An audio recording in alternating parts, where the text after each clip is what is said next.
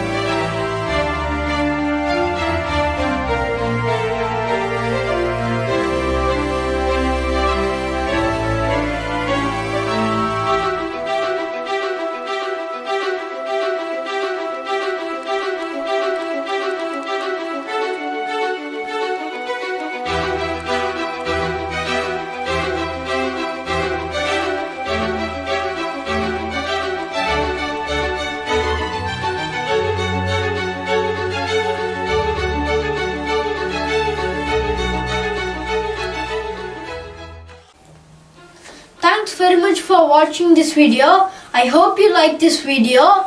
Please do not forget to subscribe, like and share.